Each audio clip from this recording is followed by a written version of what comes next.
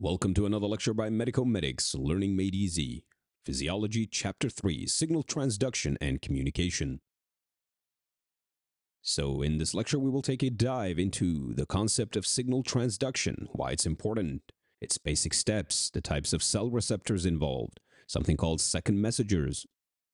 Further, we will continue talking about some different pathways, some examples of signal transduction, what happens when there is a disruption, and end with a summary.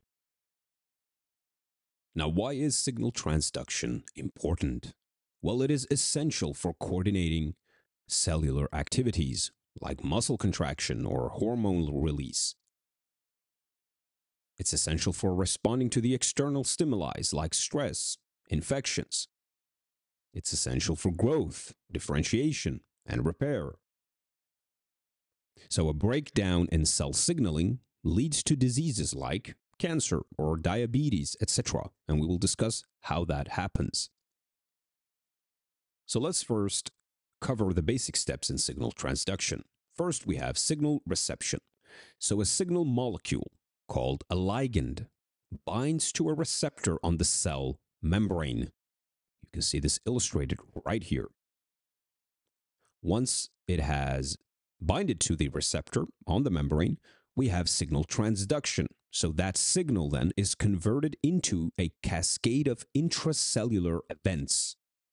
So whatever that message was that it brought to this receptor is relayed into the cell through different steps.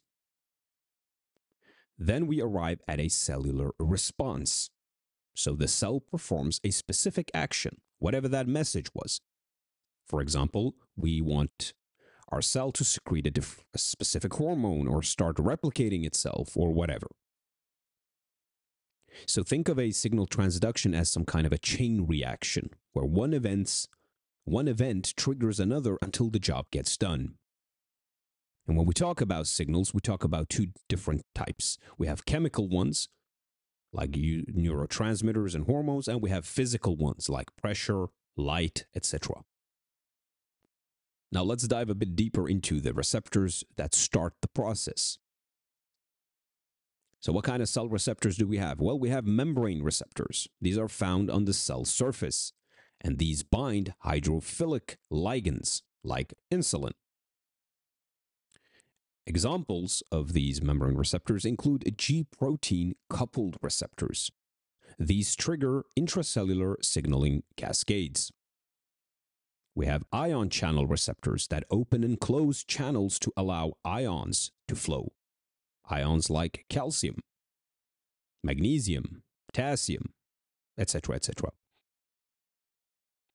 Intracellular receptors, these are found inside the cell that bind hydrophobic ligands like steroid hormones, uh, for example, cortisol.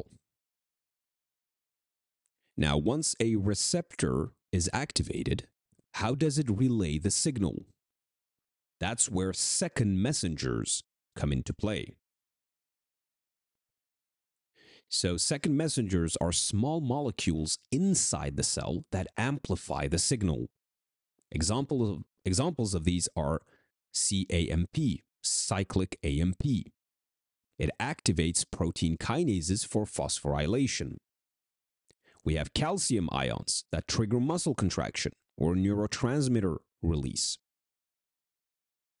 So, amplification is a single ligand can activate many second messengers, leading to a larger response. So, the receptors were like doorbells, like you, you know, click on the doorbell, you want to get in. Now, second messengers are like uh, loudspeakers, they amplify the signal so the cell knows what to do. So now the uh, message has been received. The second messengers have amplified it. Now we want to uh, instruct somehow the cell step by step to complete whatever it is we want. And that is done through different signal transduction pathways. These function like different instructions, like a recipe. So we have linear pathways where one signal activates one response. for example, insulin signaling glucose uptake. We have cascading pathways where there is a series of steps amplifying the signal, like the AMP kinase pathway. We have crosstalk, where there is interaction between pathways, ensuring proper coordination. For example, the insulin and glucagon pathways. Now, here's an illustration of the MAP uh, kinase pathway, where we have several steps happening to amplify signals until we arrive inside the nucleus for some kind of response. Now, let's explore some real world examples of signaling pathways in action. So, examples indeed could be insulin signaling, where insulin binds to its receptor. The signal then triggers glucose uptake in cells, leading to the reduction of blood sugar. So, pretend this is a cell. Pretend you have a glucose molecule floating by here in the blood. It wants to get in. However, for it to get in, it needs to go through this door here. And this door only opens when insulin binds to its receptor. So we need insulin to arrive here, binding to this. When that has happened, you can pretend now that this door then opens and that leads to glucose entering the cell. Now, with this little minimal understanding of it all, imagine if insulin has trouble binding to this receptor. Will glucose get in? Not as easily. Imagine if you don't if you don't have insulin. There is no way for the door to open. And funny enough, the example where we don't have insulin at all is actually called type 1 diabetes. When we talk about problems of insulin binding to the receptor, let's say there is some kind of resistance going on, or we have uh, lower levels of insulin for whatever reason, we know we do have insulin at some level in our body, but for whatever reason, this door is not functioning like it's supposed to. So the level of glucose still is too high in the blood. Some may get in, but not enough to maintain balance. We call this problem type 2 diabetes. Now, this is a very simplified explanation, but you get the idea. So connect this while you think about it, connect the clinical picture to signal transduction. Another example is the fight or flight response. So adrenaline binds to um, G protein coupled receptors on our heart cells. This would increase heart rate and energy availability. Now, indeed, what happens if these processes go wrong? Now, some disruptions in signal transduction. If, for example, we're talking about cancer, there is an uncontrolled cell growth due to overactive pathways. For example, mutations in growth factor signaling. Because normally, growth factors, proteins, are binding to receptors on the cell, triggering a cascade that signals our cell to divide when needed.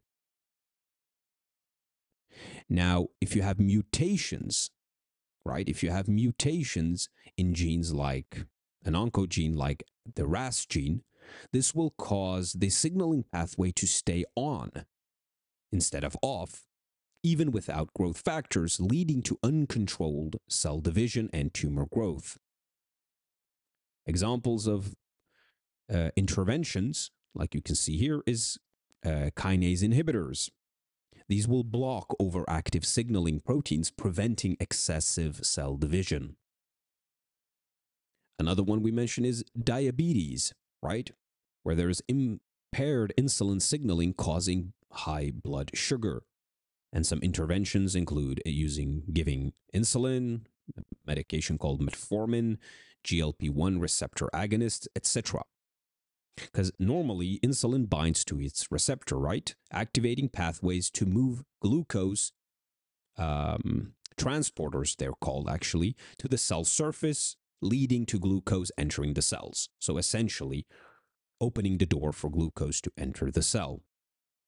Now, if we have type 1 diabetes, we don't actually have the production of insulin, which occurs in the pancreas. Um, so this signaling pathway doesn't even get initiated. But if we're talking about type 2 diabetes, cells are becoming have become or are becoming more and more resistant to insulin. So the receptors are not responding properly, and therefore glucose uptake gets impaired, again leading to high glucose. So we can give a medication like, for example, metformin, which improves sensitivity of cells to insulin, which makes it easier for the receptor to trigger glucose uptake. And we can do, of course, insulin therapy, whereby we're just giving external insulin. If we have hypertension due to overactive stress hormone signaling, we can give the medications called beta blockers to reduce heart rate and blood pressure.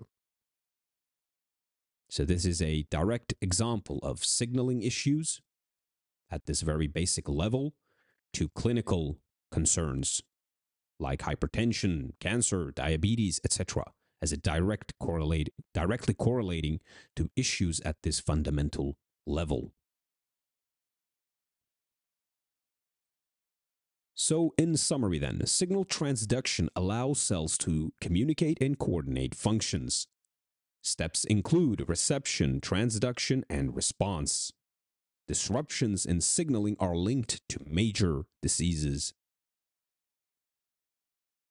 And that's the end of chapter 3. Continue now to chapter 4.